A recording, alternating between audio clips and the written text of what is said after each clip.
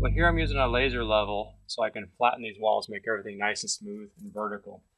And these Velcro plates went in as we're putting the different layers of bags in place. Um, they're not always going to be perfectly plumb and level when you put them in. So here I'm making some adjustments. You'll see this board is making up for the angle that this wood is here in the wall. And this will make everything look nice and plumb when everything's finished.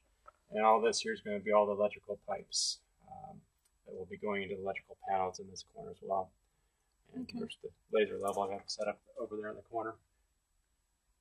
It's convenient. That laser can, uh, I've been using that to make everything perfectly level, but it's also great for making walls perfectly straight. So over here, I'm just demonstrating how I've used this laser level to make our shelf here perfectly level.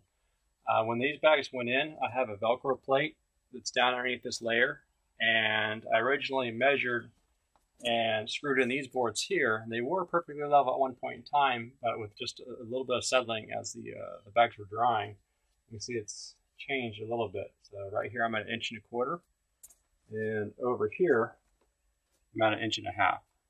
So I'll cut some boards, uh, little trim pieces to put on here, and I'm going to have I think two by 12s come across here to make a nice shelf. And the whole reason why this shelf is out here, I think it's been explained in previous videos. Uh, where we're standing right now, we're actually standing four feet below ground level. And to prevent the pressure from the ground outside pushing the walls in, we did a double set of bags here and crisscrossed the barbed wire across them as we went up on the layers. All right, just some tips for setting up this laser. See, when I turn it on, I have different modes. The first turn it on, uh, it's got the, uh, the horizontal lines you can see across here and a vertical line. So just pressing the mode button on the back, I can change to just this vertical line. I made a mark right here with a permanent marker. So I'm going to line the light up. And over there on the bags in the corner, you'll see where I've drawn some other lines. And so I just need to turn the laser a little bit until it lines up. This way, each time I come back to this, I'll have the same reference for the wall.